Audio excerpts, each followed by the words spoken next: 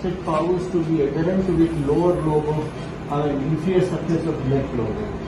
So in case of revision surgery, you can safely do dissection between omentum and left liver capsule. So you don't have to worry about injuring the gastric. This is one advantage.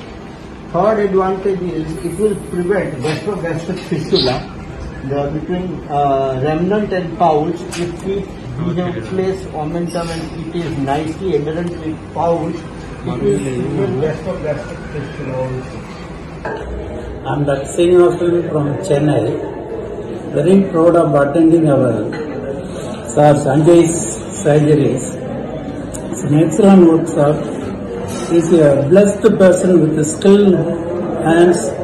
His surgery, surgical steps are mesmerizing. Being a laparoscopy surgeon, I can see his steps are like flow with flow. He can, uh, everything seems to be so simple, so mesmerizing. Even the surgeon who does not have any idea about bariatric surgery feel like doing bariatric surgery and observing his surgical skills.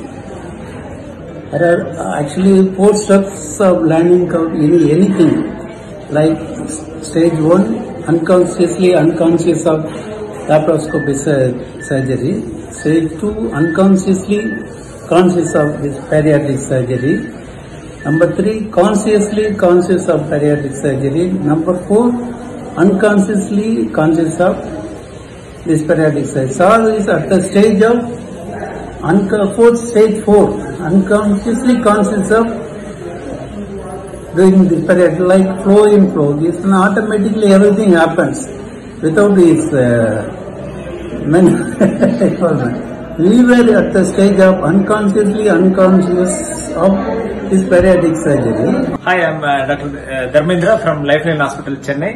Uh, it's um, indeed a great uh, pleasure and privilege uh, to be here at, with Dr. Sanjay Patolia here in Ahmedabad.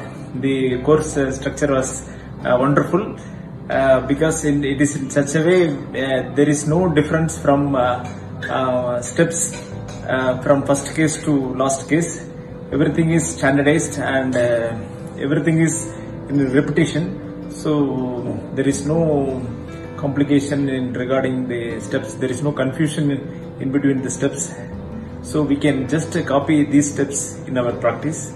So so in in this regard, it's a wonderful course.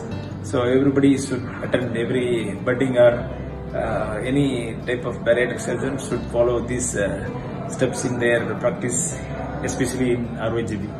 Thank you.